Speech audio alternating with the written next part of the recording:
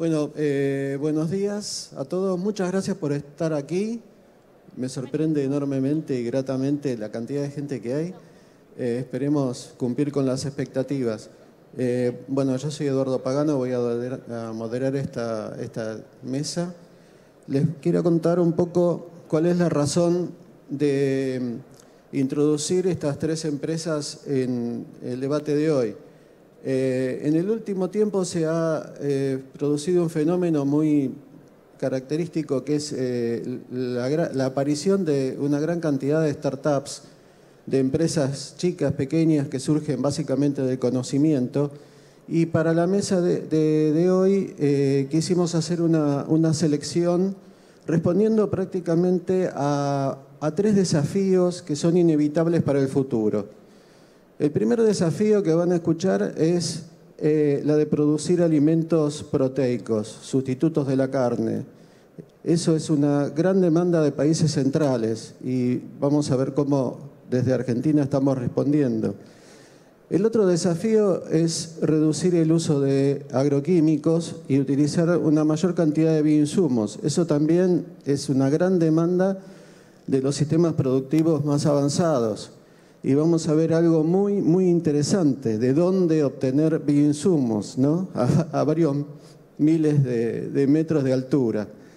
Y el tercer desafío, que es eh, tremendamente importante, es el eh, manejo de los datos. O sea, durante años, durante decenas de años hemos acumulado una gran cantidad de datos y ahora no sabemos qué hacer con ellos. Entonces vamos a ver cómo una empresa joven propone dinámicas para el manejo de esos datos. Bueno, lo dejo en, presencia de los disertantes y bueno, muchas gracias a todos. Buenos días, eh, muchas gracias Eduardo, muchas gracias a Presid por una nueva invitación a compartir un poco lo que hacemos en el día a día con Tumor Foods y gracias a, Puna y a Calice también por, por compartir este, este panel que busca justamente eso, como decía Eduardo, explicar un poco lo que hacemos en el día a día y cómo articulamos para llevar conocimiento y transferirlo en, productos y poder monetizarlo.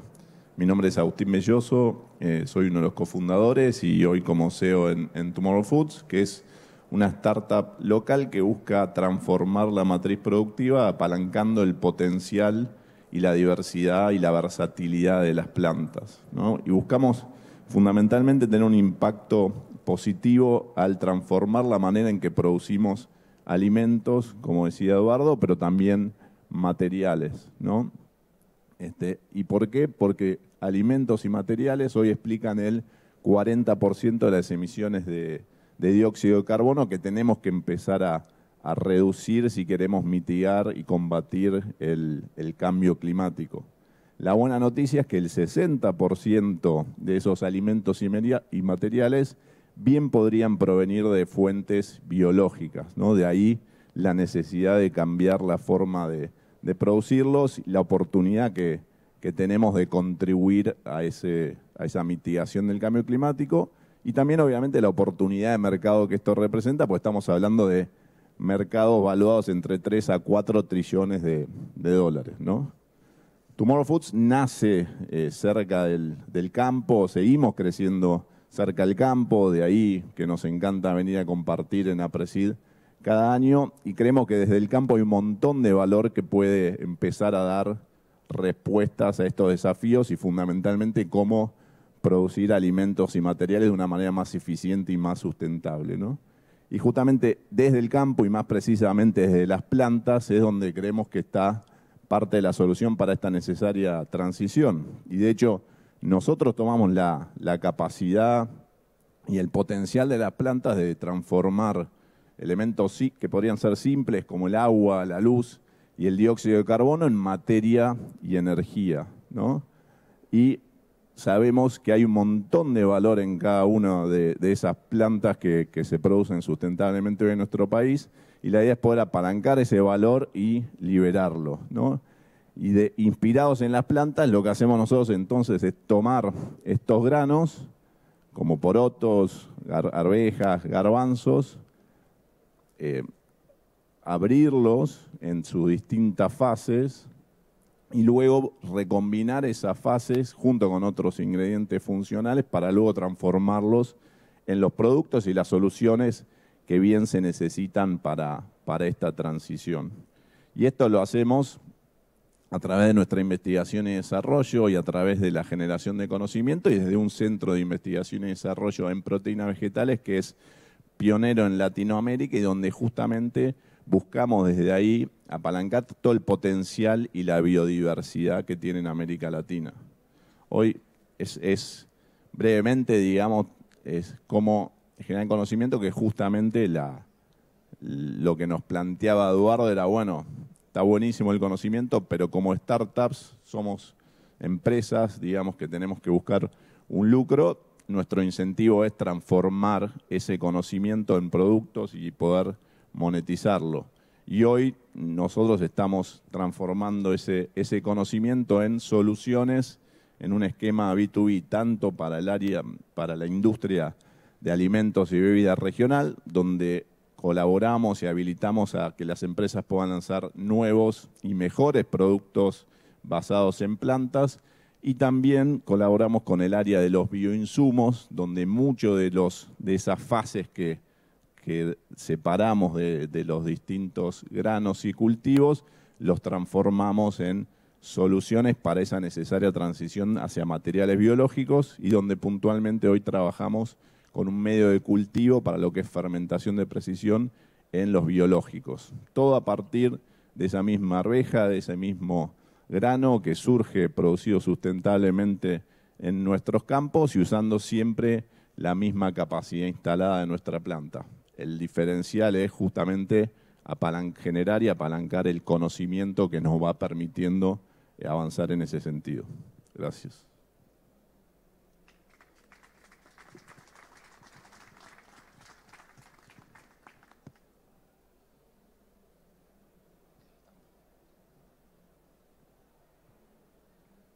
Creo que al final.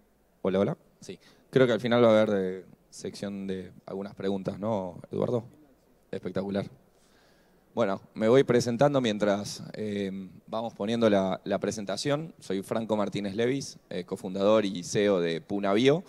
Y como bien decía Eduardo, eh, les vengo a contar una historia que arranca varios miles de metros de altura, justamente en la Puna. bueno, mientras va la presentación, arrancamos. Perfecto, ahí está transformando 20 años de ciencia en la Puna en soluciones para la agricultura global. Y ustedes dirán, 20 años de ciencia parece un montón y, perdón, voy a parar para poder ver bien la, presentación. Eh, básicamente, esto es la Puna Argentina.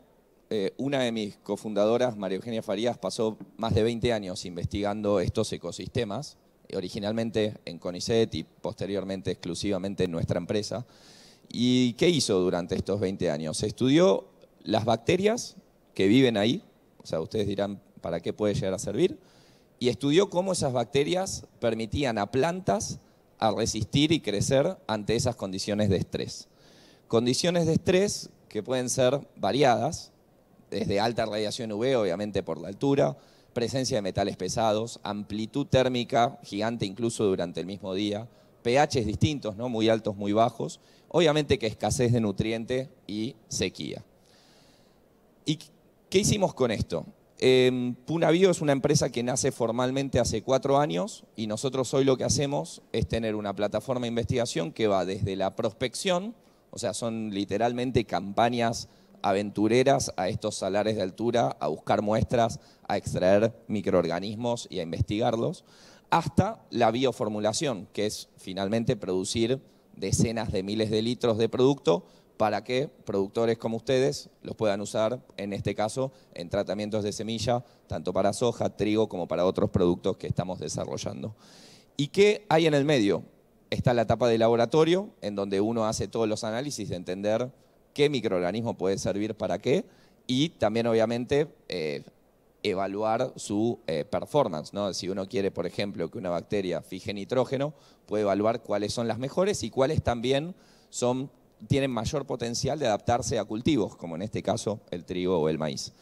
Con eso generamos una colección única a nivel mundial de extremófilos y finalmente pasamos a toda la etapa de desarrollo de producto, de invernadero y ensayos a campo, donde trabajamos en Argentina en más de 20 sitios, ya tenemos ensayos en Estados Unidos, Brasil y Paraguay, con ensayistas muy reconocidos, asociados obviamente a INTA, universidades, se me ocurren los nombres de Gustavo Ferrari, Wenceslao Tejerina, Ricardo Arevalo, Federico Morda, por decir algunos, y ellos son quienes finalmente validan que todo lo que nosotros vemos en laboratorio y en invernadero se traduzca en condiciones reales de campo año a año.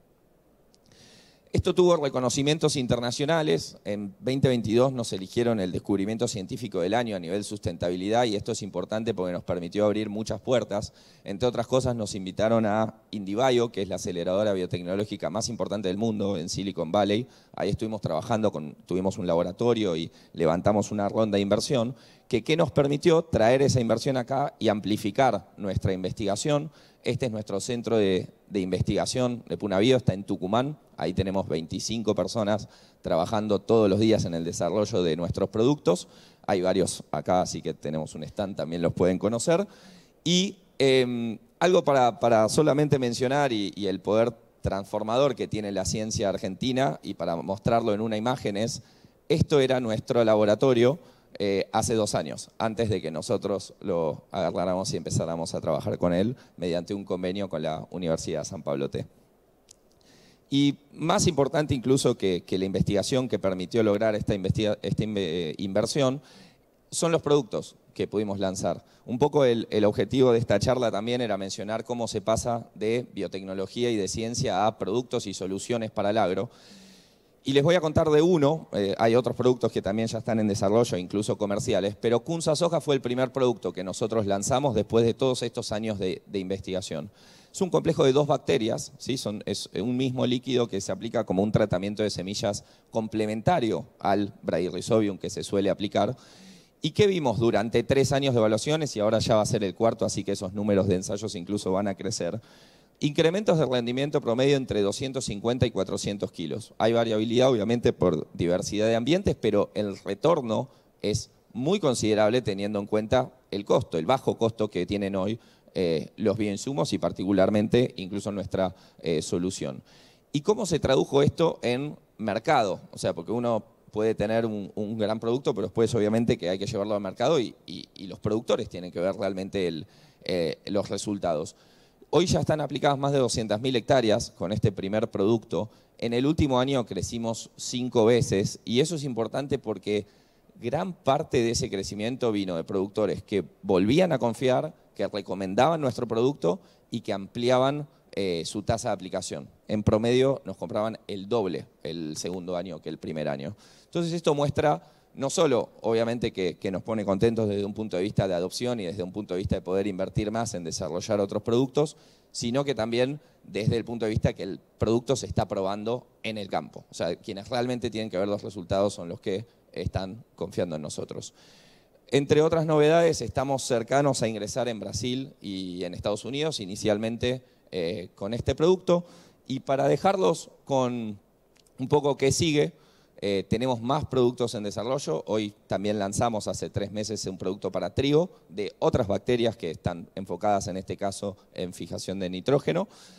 Vamos a ampliar equipo y llevar más ciencia eh, Argentina al mundo. Realmente creemos que la plataforma que tenemos y a, la vez al haber podido traer también inversores internacionales a nuestro país, eh, vemos que el mundo también está creyendo que los extremófilos pueden ser una alternativa para tener una agricultura más resiliente. Y por último, llevar la ciencia argentina a más países. Así que bueno, va a haber espacio de, de preguntas y también estamos en un stand, así que quien nos quiera conocer, más que bienvenido.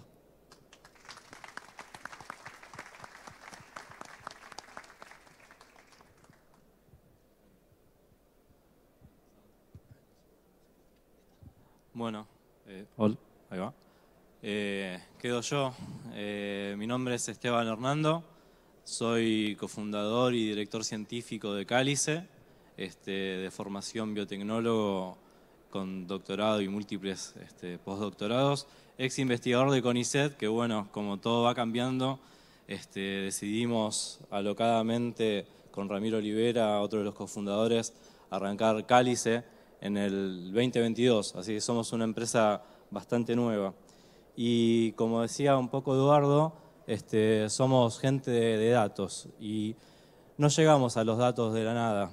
Arrancamos, cuando arrancamos Cálice, lo arrancamos como una empresa que estaba enfocada en el mejoramiento vegetal, particularmente en edición génica, o sea, hacer mejoramiento usando CRISPR. Y cuando uno se mete a hacer CRISPR, 20% del desafío es hacer el evento de edición génica, pero el 80% más importante es saber qué gen vas a editar. Este, estás hablando de un organismo que tiene capaz 80.000 genes, ¿cuál de esos 80.000 es el que vos tenés que tocar para lograr lo que vos querés? Y en eso yo trabajé casi toda mi carrera.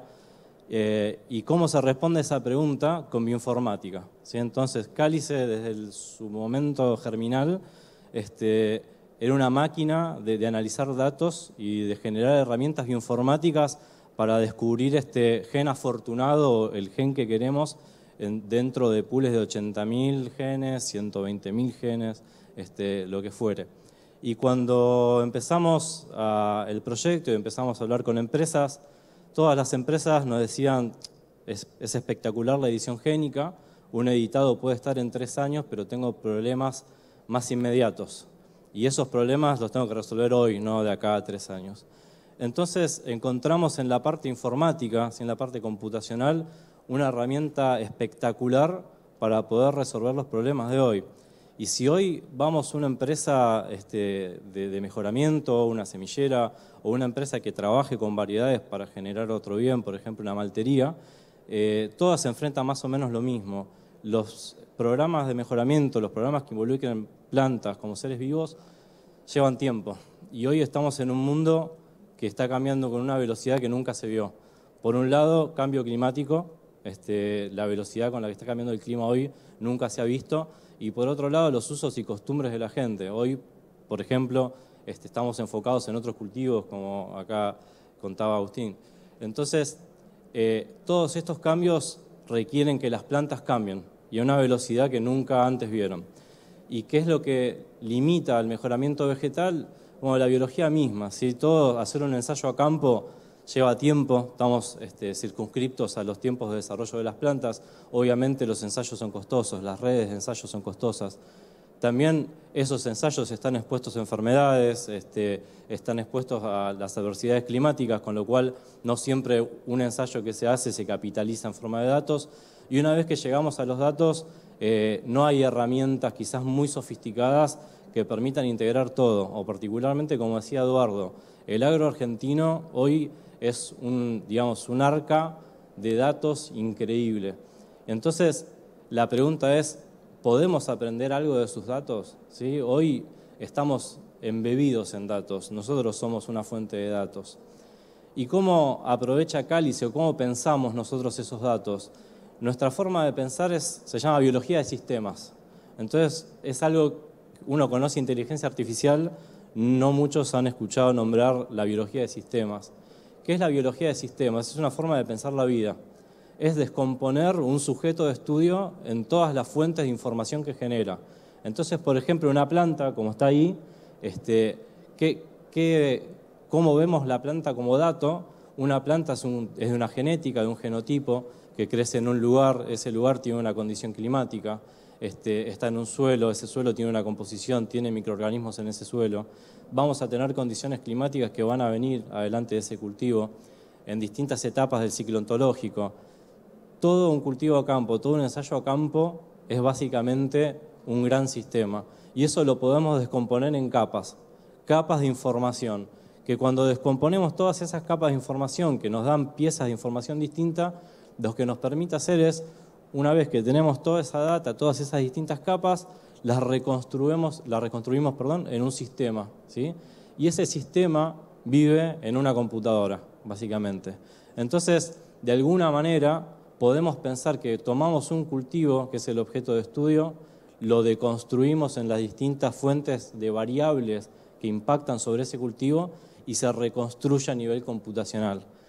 Y acá dedicamos este, los últimos 15 años de nuestras vidas, los, los que somos parte de Cálice, en de construir un organismo y rearmarlo como sistema biológico, pero bien, ¿cómo transformamos eso a algo que sirva para el agro, que se pueda aplicar.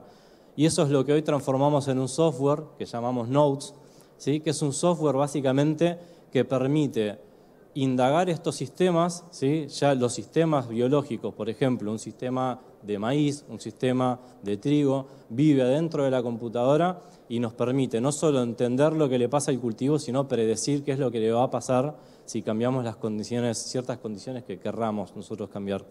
Y eso lo logramos hacer predicciones con un 80% de certeza, ¿sí? que eso es una de las cosas espectaculares. ¿Por qué?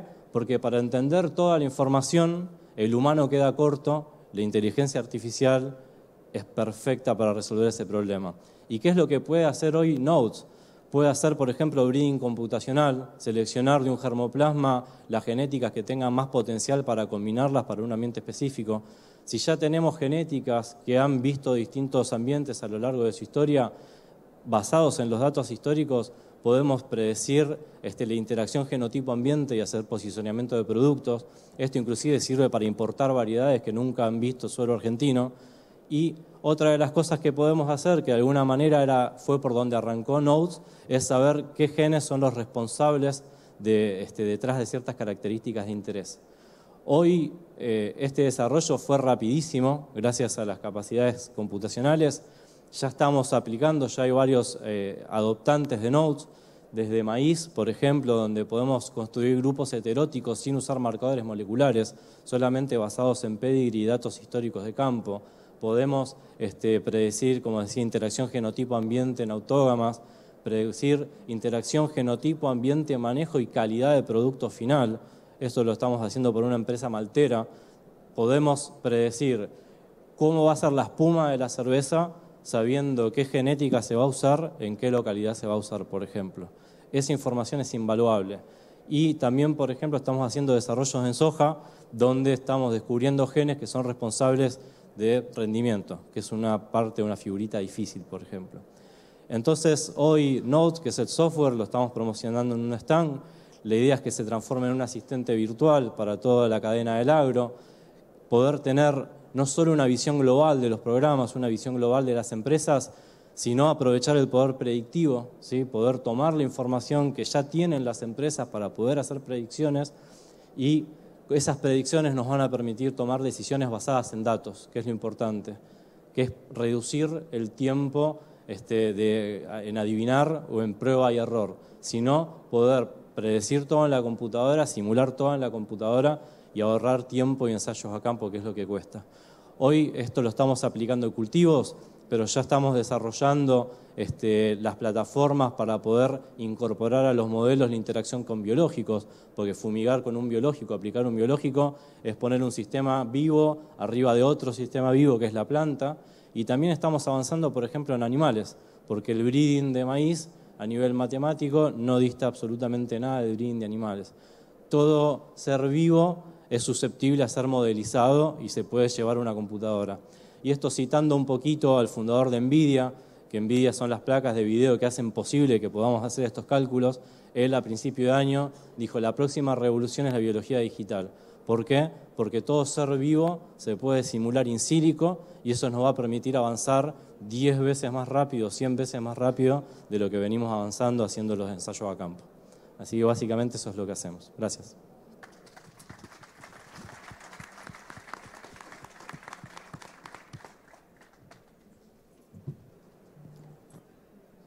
Hola.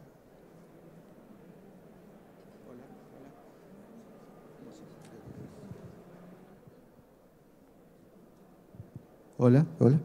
Bueno, muchas gracias a los tres disertantes. Tengo algunas preguntas que me llegaron por el celular. Hay una que dice que es para los tres, digamos, contesta el que quiere. ¿Cómo es emprender en Argentina en los últimos 15 años? Creo entender que dice cómo es posible, ¿no? Cómo es posible emprender en Argentina en los últimos 15 años.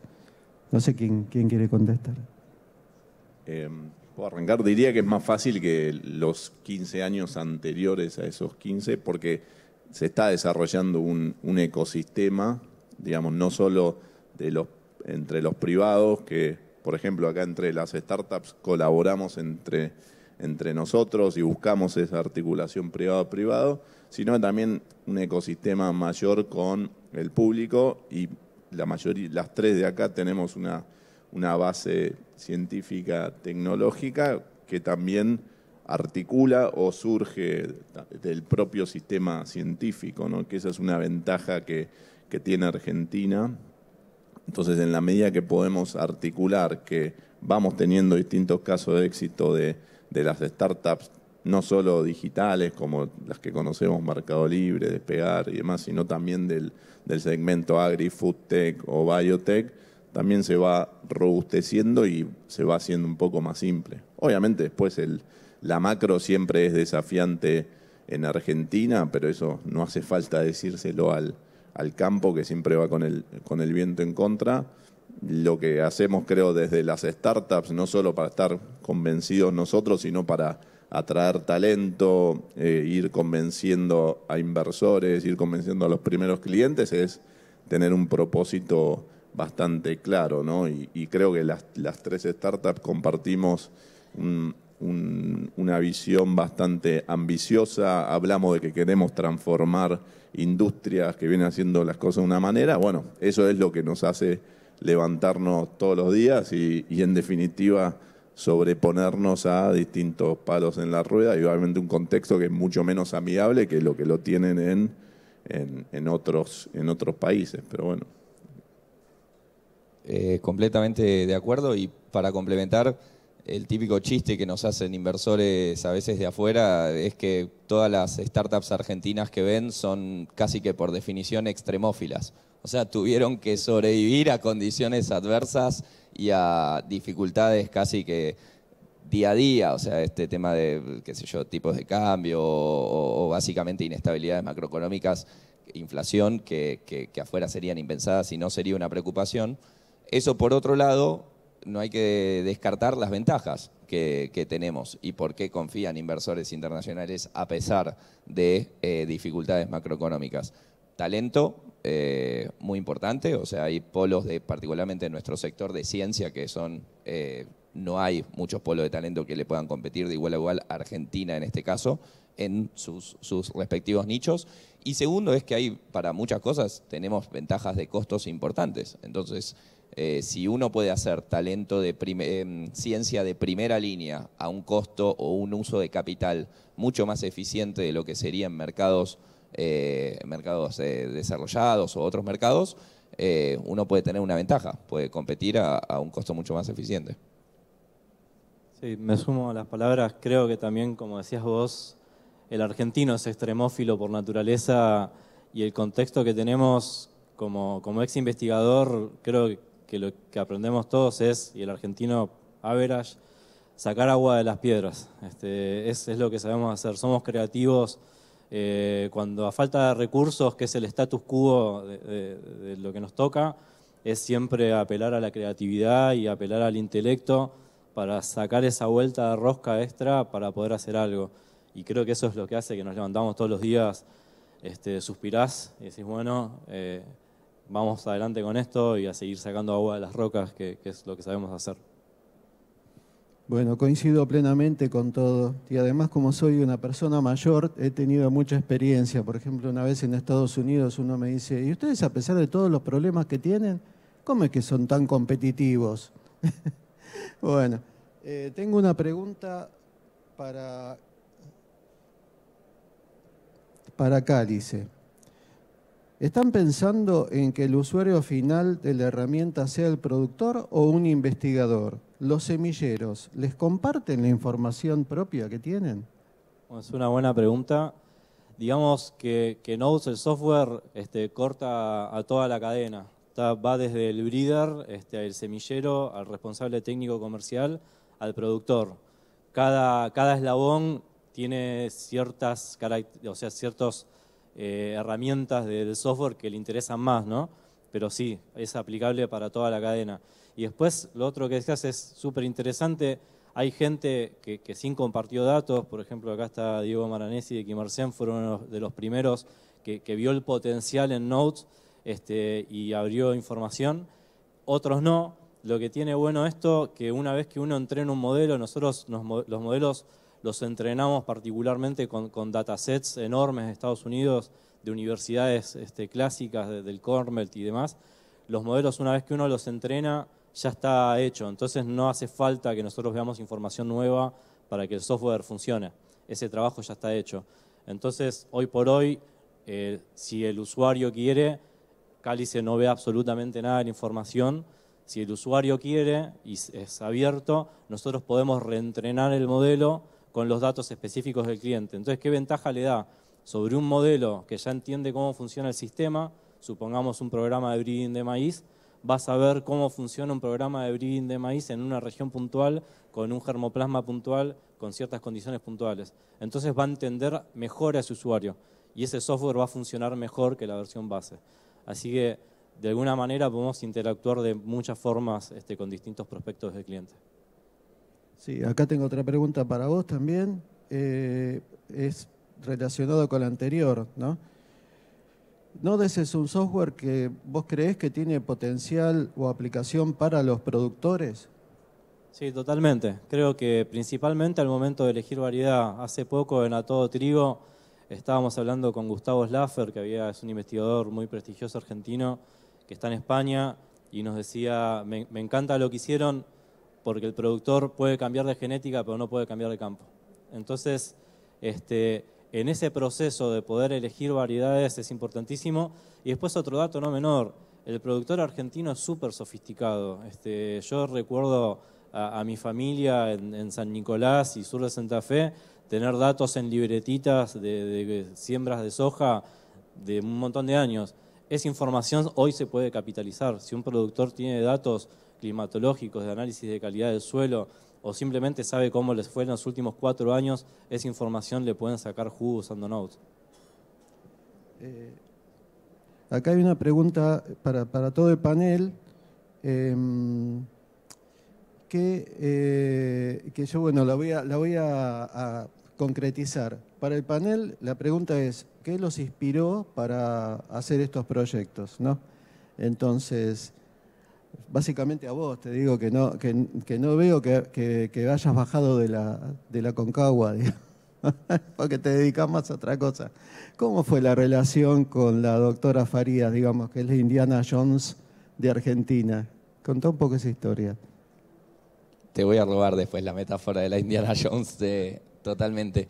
No, nosotros nos conocimos con, mis tres cofundadoras, somos, somos cuatro cofundadores, tres científicas de Tucumán eh, y yo, mediante un proceso de aceleración. Hay una, aceleradora que se llama GridX, eh, que surge acá en Argentina y hoy ya tiene otros proyectos en, Latinoamérica, que ellos juntan científicos con tecnologías de alto impacto y potencial con eh, emprendedores de negocio o básicamente personas que puedan manejar la parte más financiera o de negocio del, proyecto y llevar esa tecnología justamente a, productos.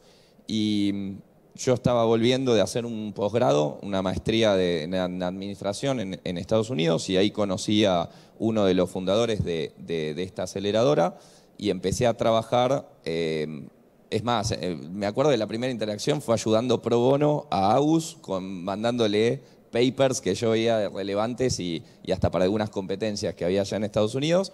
Me empecé a adentrar un poco en, el potencial de, la biotecnología y la ciencia. Y, ahí formé parte de este programa que para explicarlo es como un Tinder. Eh, juntan 20 científicos o científicas y 20 emprendedores. Eh, o gente que viene de, maestrías o de gente de, lugares de, negocio. Y ahí empiezan a hacer match. Y a algunos de esos match les invierten para que empiecen a probar su, tecnología. Y nosotros empezamos así. Y un poco lo que inspiró, o lo que a mí más me llamó la atención de, nuestro proyecto, es que yo veía un problema brutal en, en términos de la degradación de suelos, o sea, las tendencias de degradación de suelo a nivel mundial. Veía una tendencia que hoy está mucho más clara que hace cuatro años, pero hace cuatro años ya se veía venir del cambio climático y el clima en general yendo hacia climas cada vez más extremos. No hace falta explicarles a, los que están acá de las últimas tres campañas de, Argentina. Eh, y veía que estaba ese problema y no podía creer como especie, o sea, la humanidad todavía no tuviera resuelto cómo íbamos a alimentar a la población en 20 años.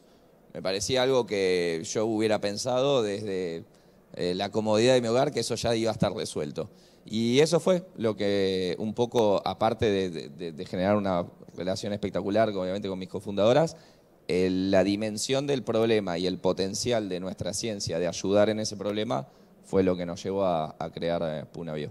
Sí, es un poco para, para ver la importancia de los extremófilos. El extremófilo más importante hoy es, eh, la, es de donde se saca la enzima para hacer el PCR, digamos, que todos alguna vez creo que nos hicimos un PCR para ver si teníamos COVID o no. ¿no? Exactamente, ahí un, poco los extremófilos son usados en, eh, en, básicamente en salud y en otras aplicaciones industriales por esta tolerancia al estrés. Nuestra innovación es llevar ese uso a la agricultura. Perfecto. Em, vos me habías contado ¿no? cómo era tu historia, ¿no? que partía de la ciencia y todo eso, eh, y me pareció sumamente interesante esa migración que fueron haciendo con el tiempo, donde en un principio pensaron que la edición génica era la panacea universal y cómo fueron, cómo fueron llegando, y me parece muy interesante esto que dijiste vos, aunque va en contra de mis intereses, ¿no? de que este, pueden llegar a suplir el uso de marcadores moleculares en los programas de mejoramiento. Eh, no vamos a discutir eso, en otro momento lo hacemos. Pero, digamos, yo te quería preguntar, a nosotros nos resulta muy difícil llegar al breeder clásico, al breeder tradicional, eh, para estimularlo para el uso de marcadores moleculares, para asistir a los programas de mejoramiento. ¿Vos cómo ves la recepción de los breeders eh, en cuanto a la propuesta de ustedes? Creo que, lo que baja la persiana cuesta mucho el marcador es que es caro. Este, y también si no tenés, son, no sos una empresa enorme que tiene buenos este, genomas completos, secuenciados y demás, es improbable o cuesta mucho más sacarle valor a un marcador. Nosotros tenemos, por un lado, siempre pensamos en el usuario, que esto sea como Instagram. Nadie hizo un curso para usar Instagram o Facebook, nadie hizo un curso para usar WhatsApp el user tiene que llegar a Nodes intuitivamente, tenés que entender y, tenés que poder sacar información. Entonces, eso, por un lado, la, que sea centrado en el usuario, le da facilidad. Hacer un análisis de marcadores moleculares estadísticos no es para todo el mundo. Y después, como te decía, el tema costos y disponibilidad de información. Nosotros desde el momento cero nos propusimos, cuando encaramos o cuando trabajamos con una empresa, no pedir que hagan nuevos ensayos, porque en Argentina cuesta un montón secuenciar un genoma y cuesta un montón hacer marcadores. Entonces, es una aproximación que es un poco costosa. Quizás sí, usando datos históricos y sacando el agua de esas rocas, podemos capitalizar información, podemos pensar en hacer un poquito de marcadores y empezar a andar ese camino este, de alguna manera. Bueno, me respondiste muy bien, aprobaste. Este, no, y, ahora, Agustín, no tengo más preguntas acá de la gente, así que si quieren hacer preguntas, todavía tenemos un poquito de tiempo. Eh, vos venís de una familia emprendedora por naturaleza, ¿no? Este, digamos, yo conozco a tu papá y bueno.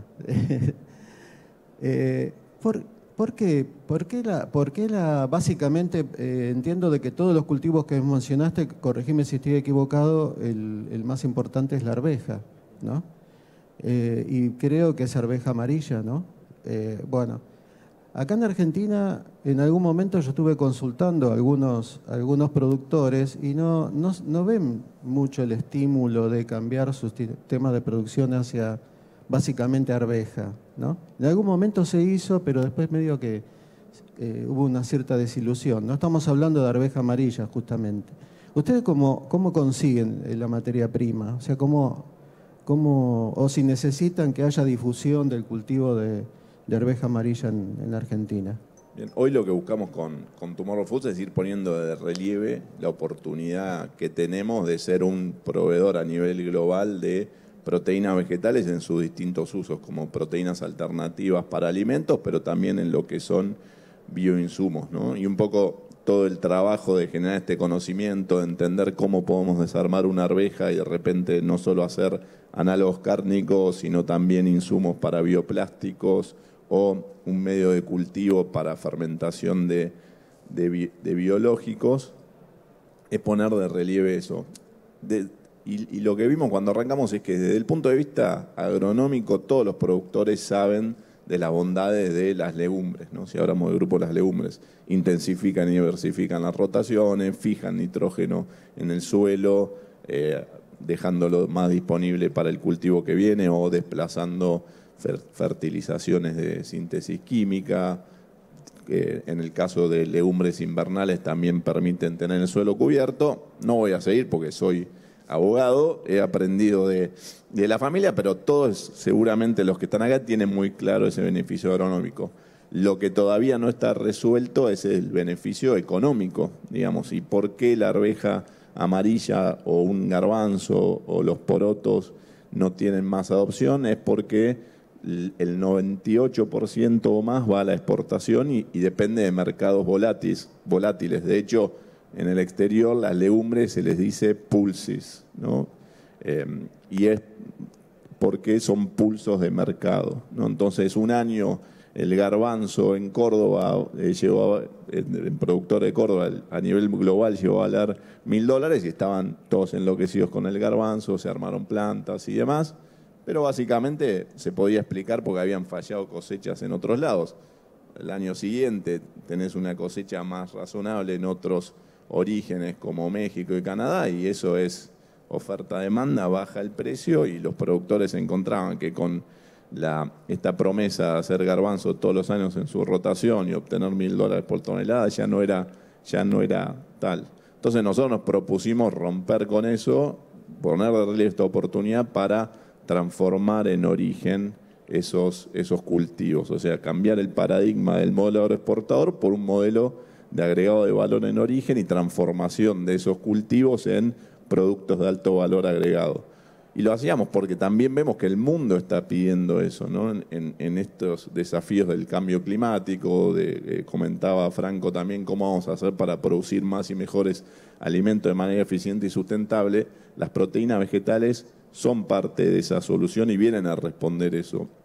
Y la ventaja que tiene Argentina es que parte de varios Em, casilleros más adelante a partir del sistema en siembra directa o lo que hoy se empieza a conocer en términos en otros términos como agricultura regenerativa, lo venimos haciendo hace 30 años. Entonces, no solo queríamos cambiar el paradigma de modelo de los portadores, sino empezar a contar toda esa historia de cómo Argentina ya viene haciendo las cosas de manera correcta o cuidando el suelo, pero si además le dábamos un incentivo al, al productor para empezar a hacer más de estas legumbres, mejor se iba a cuidar el suelo, mejores cultivos y entrar en un círculo virtuoso y darle al mundo esas proteínas alternativas de, origen sustentable que tanto nos está pidiendo para esta transición. Después en el, en el devenir de la startup, en, eh, eh, digamos, en los ciclos de innovación de, las proteínas alternativas, de los alimentos basados en plantas en particular, fuimos encontrando ciertos desafíos, pero que nos fueron, nos fueron justamente desafiando o empujando a encontrar nuevos usos. No, no la arveja únicamente para hacer hamburguesas plant-based o lo que vos en la presentación decías, sustituto de la carne, sino también qué más valor le puedo sacar, porque si no me quedo con una proteína media cara o hago todo un proceso de extracción que termina siendo ineficiente porque uso solo una, una fase. Entonces el desafío fue agregarle valor a eso otro y realmente aprovechar todo ese, ese potencial. Creo que estamos en, en ese camino de, de, poner de relieve esa, esa oportunidad y demostrarle al mundo que hay una manera de producir más sustentablemente y, llevar eso en una cadena, en transformarlo en, en las soluciones que hoy nos pide esa transición.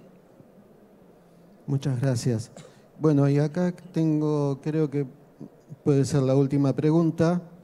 Eh, nos acaban de mostrar que el futuro ya llegó. ¿Qué hay después de eso? Un poco complicado de contestar. Bueno, a ver. Bueno, para, dar nuestro punto de vista a nivel de biológicos, que, es nuestro área, yo creo que toda, hay muchas etapas de, ciencia eh, que se están acelerando. Así como estuvo la, aceleración de la computación, hoy eso está llevando a, como nos mostró Calice, aceleración de modelos de inteligencia artificial, a testeos que ya no requieren eh, tantos ensayos a campo, ni siquiera cosas en invernadero. Hay cosas que se tienen que seguir haciendo, pero hay herramientas de biología molecular, hay herramientas de bioinformática eh, que van a llevar a eh, un desarrollo más rápido de mejores soluciones y a de, más soluciones. Entonces, en, nuestro caso, creemos que la solución sigue estando en la naturaleza. Hay muchos, eh, vemos que, por ejemplo, hay eh, soluciones que se están haciendo mucho con edición génica o con transgénicos, que nosotros quizás buscando en lugares donde no se suele buscar, encontramos cosas que naturalmente evolucionaron durante 3.500 millones de años y performan mejor. Entonces, para nosotros el, futuro, lo que sigue en los biológicos es básicamente una adopción mucho más eh, generalizada. Hoy hay soluciones que están muy generalizadas, el caso de los inoculantes acá en, Argentina o en Brasil, en Brasil los nematicidas, hay soluciones que ya son el nuevo estándar, que desplazaron completamente a los químicos. Nosotros creemos que nuestras soluciones tienen el potencial de transformarse justamente en nuevos estándares eh, para, para la producción. Creo que por lo menos con lo que hacemos nosotros, el futuro, así como todos los proyectos están orientados para el mismo lado, que es usar lo menos, o sea, generar el menor impacto posible en el mundo. Ya está bastante chocado y si queremos seguir existiendo, tenemos que cambiar la forma en que hacemos las cosas. Tenemos unos seres majestuosos que son las computadoras que nos permiten poder simular y generar este, un montón de cosas que antes hacíamos en el mundo de lo real. Antes íbamos al banco, ahora desde el celular transferimos. Este, llevar otros aspectos de nuestra vida, hacerlos a nivel computacional. De esa forma vamos a bajar el impacto que generamos sobre el planeta. Sí, solo a modo de, cierre y para sumar, creo que esto, el futuro siempre está adelante porque, y lo vemos así, pues esto recién empieza, ¿no? Creo que lo, lo que estaban explicando los chicos es la convergencia tecnológica, como tecnologías que usábamos en otros verticales, en otros nichos, los empezamos a, aplicar acá y abren todo este mundo de, oportunidades, pero está lo que abren que no sabemos qué más podemos eh, hacer y el desafío, creo, y como lo, charlamos antes preparando el, panel con vos, Eduardo, es siempre bajar, aterrizar eso y traer algo el que el usuario lo pueda usar. De nada sirve quedarnos con que nuestra tecnología, enamorarnos de la tecnología en cierta medida, sino traer y poder aterrizar, eso en productos concretos que se usen y que realmente le brinden una, solución o, vengan a resolver alguna necesidad o problema puntual del, usuario, en este caso del, productor, del consumidor final o de, o de quien fuera, pero todavía hay mucho, mucho por hacer.